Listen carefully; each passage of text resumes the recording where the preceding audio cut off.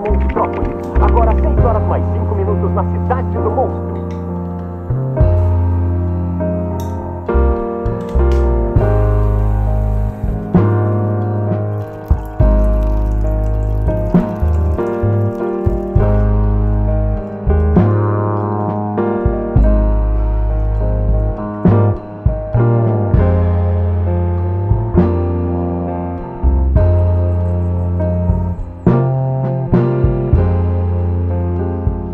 Dia, Monstrópolis. Esse é um vídeo meio diferente do canal, vocês devem estar percebendo, não costumo fazer uns vlogs assim, mas tô afim de fazer, então vou fazer. E hoje é um dia interessante porque eu vou gravar bateria, eu vou no estúdio, tô sendo pago para ir no estúdio para ir gravar uma música de bateria.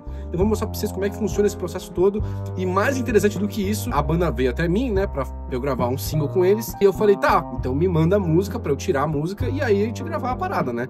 Aí falou, não, Dani, a gente queria muito que fosse espontâneo, tipo, você vai chegar no estúdio e você nunca ouviu a música, o que você ouvir na hora e absorver na hora, você vai lá e toca. Falei, isso aí vai ser interessante, porque geralmente, assim, quando a banda me contrata, eles me mandam a guia, com ou sem bateria, eu crio na minha cabeça e depois eu vou no estúdio e gravo. Geralmente no meu estúdio, inclusive. Só que hoje vai ser um pouco diferente, então eu vou no estúdio daqui a pouco, vou pegar minhas coisas, vou pegar os pratos da Orion, vou pegar minhas baquetas, vou pegar minhas paradinhas, vou pro estúdio em Osasco, vou gravar as paradas, aí eu vou também filmar aqui como é que funciona. Porque assim, esse canal tá parado há muito tempo e eu já tava brincando com essa ideia de fazer uns vlogs, de mostrar meu dia a dia. Só que eu sempre ficava nesse negócio, não, eu tenho que pegar câmera e tem que filmar aí, tripé e não sei o que. Então, mano, eu tô simplificando as coisas. Tô filmando tudo com iPhone, tô com iPhone 15 Pro, ele tem uma qualidade cabulosa, vou fazer a cor depois bonitinha. Espero que o áudio esteja bom, não tô gravando com nenhum microfone externo, tá com o áudio do, do, próprio iPhone. Enfim, é o tipo de conteúdo que eu gostaria de trazer mais pro canal. Eu me divirto fazendo essas paradas, de filmar os negocinhos meio aesthetics. Inclusive, vocês nunca me viram nesse cenário, né? Vocês nunca me viram minha casa.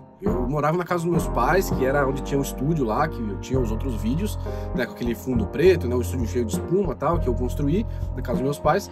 E agora eu tô num apartamento, tô no Morumbi, tô morando no Morumbi.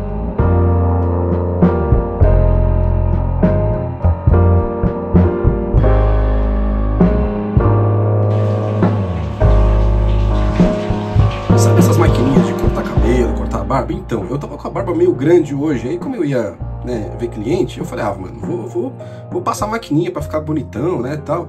E eu não me atentei, porque tem essa cabecinha aqui e tem essa cabecinha aqui. Essa aqui é de 5 milímetros, não sei se dá pra ver aqui, 5 milímetros. E essa aqui é de 1, e essa é de 5. Essa que eu passo na barba, geralmente, não é de 1.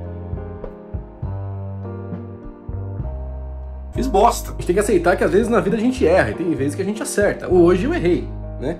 Claramente eu errei.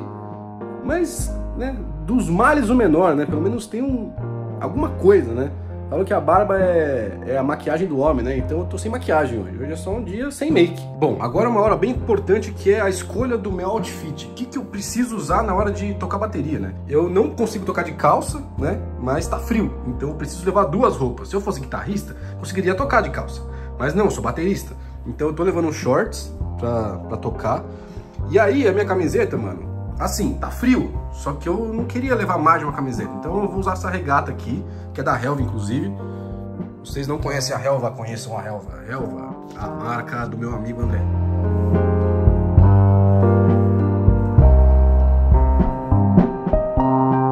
Bom, para levar minhas coisinhas, eu vou levar os shorts, vou levar um power bank, e vou levar cabo do celular e vou levar essa paradinha aqui também, que uma das minhas baquetas não tá com grip.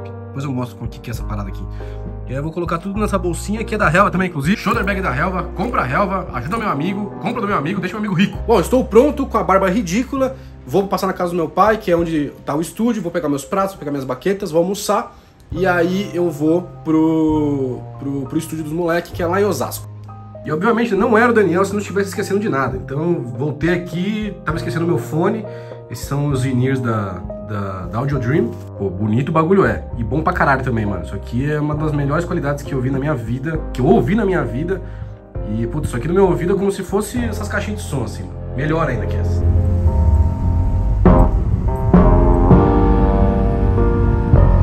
Chegamos aqui no Rock Studio com os meninos. Dá, fala, fala seu nome. Salve, salve, eu sou o Gabriel, mano. Sou guitarrista e vocalista da banda Segundo Plano. A gente vai gravar hoje um som, um som, um som só, da um single, né, de vocês, que eu não ouvi a música, que a pedido de vocês, inclusive, era pra eu não ouvir, né? Isso, isso. Aí eu já ouvi a primeira vez, chegando aqui, a gente já colocou, já tive umas ideiazinhas.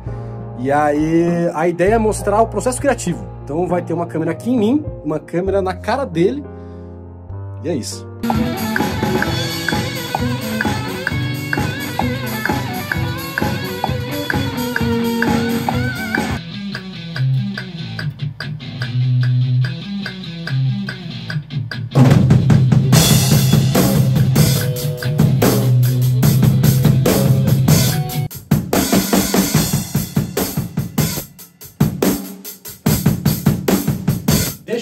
Essa virada só, a última. Então vem um compasso antes e aí deixa vem tocando.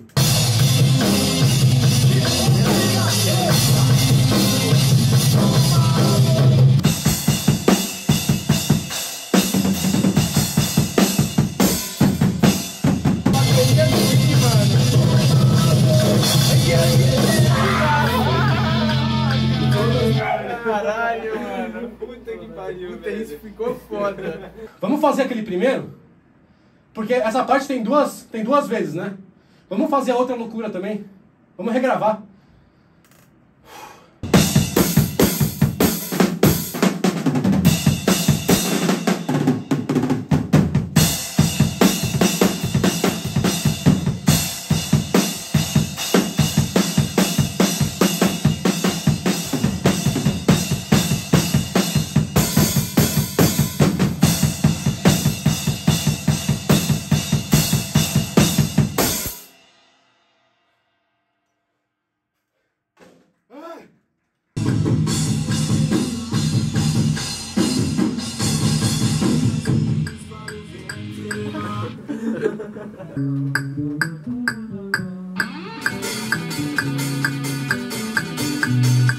Eu vou fazer uma crescente então. Eu vou fazer daqui. Depois eu vou vir um pouco mais reto. Ao invés de vir direto pra cá, vou continuar no chimbal, só que reto. Aí depois eu venho pra cá. Então ele vai crescer um pouquinho. Vou fazer aí vocês veem se fica legal.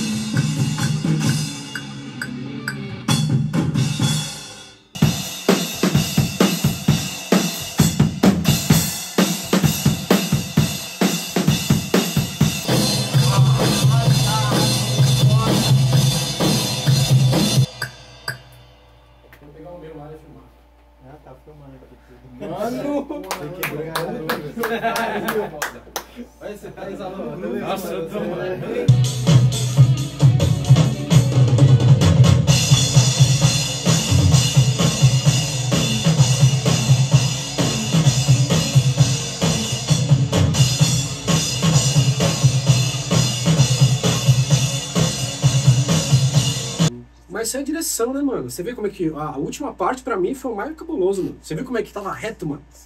Ah, tacatu, tacatu, tacatu. Não, vamos fazer assim. tá, tá.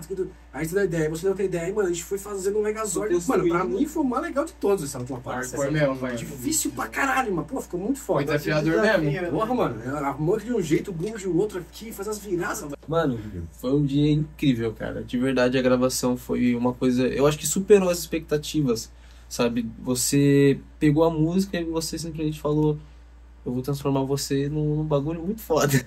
Sentiu a música, né? Entendeu o que a gente queria passar. Eu acho que essa que é a ideia da banda, né, mano? Cada um, cada um escuta de um jeito, cada um entende de um jeito e você deixou isso, ouviu e expressou o que tocou em você, né, mano? E fez essa obra de arte. Você trouxe suas referências, né, gente? Cada um traz sua referência que você processou e ficou incrível, combinou perfeitamente com que bom. A música ficou outra, porque antes tava uma coisa muito, muito reta, assim, sabe? Meio que muito padrão, sem dinâmica, sem, sem aquela emoção na bateria, sabe? E você veio e, mano, mudou tudo isso, sabe? Deu vida, né? Deu vida, deu um andamento, deu, sabe, emoção pra bateria. Uma bateria que você sabe que quem tá tocando tá tocando com sentimento, sabe? É, a gente é até imaginava uma bateria, mas era algo muito reto, era algo muito pacato, né? Você foi e deu a direção, como você mesmo falou. Exatamente. Ficou algo bem diferente, meu, bem fora do esperado, mas eu acho que era isso, sabe? Era algo que inimaginável, sabe? É. Você pega os instrumentos à parte e você percebe. Fantástico, cara, fantástico. É, você trouxe tudo, tudo, tudo de bom para acrescentar, né? Na música, acho que deu bastante dinâmica. Acho que, meu, ficou, acho que vai ficar perfeito mesmo, do jeito que, que os meninos esperavam que, que ficasse. É o que eu falei pra eles quando você tava tocando lá, mano. Hum. É um jeito muito seu de tocar bateria, tá ligado? Tem a sua, ca- as suas Ah, características. é a ali, né? originalidade, tá ligado? Essa originalidade. Depois eu vou fazer o pix pra todo mundo que falou bem de mim. Obrigado, viu? Aí já chegou aqui.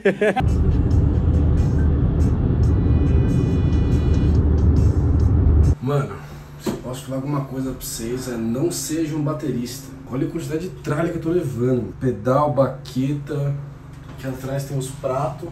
Ou seja, né? Se quer sofrer, seja um baterista. Bom, acabei de chegar em casa. Mano, se posso falar alguma coisa pra vocês, é não sejam bateristas, mano. Olha o rolê, mano. Olha as tralhas. Isso que tem pouca coisa, mano. É baqueta, pedal e prato, mano. Não levei caixa, não levei nada demais, mano. Uma coisa de câmera. Nossa, né? Tomar. no- Bom, acabei de chegar em casa. Foi muito foda. A gente foi no estúdio lá, foi muito legal. A gente depois ficou tomando umas lá, depois do, da gravação.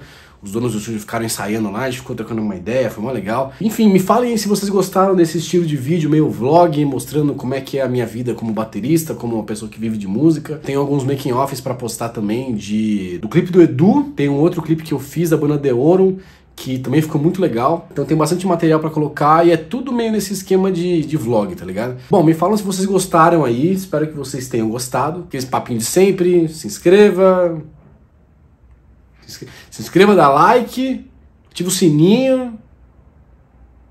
E é isso.